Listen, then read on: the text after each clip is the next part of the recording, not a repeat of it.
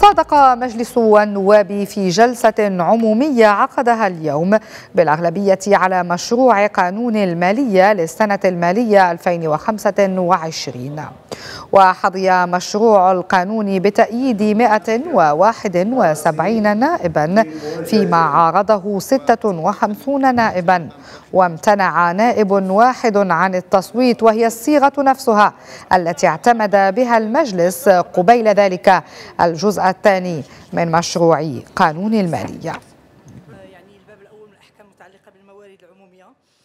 يعني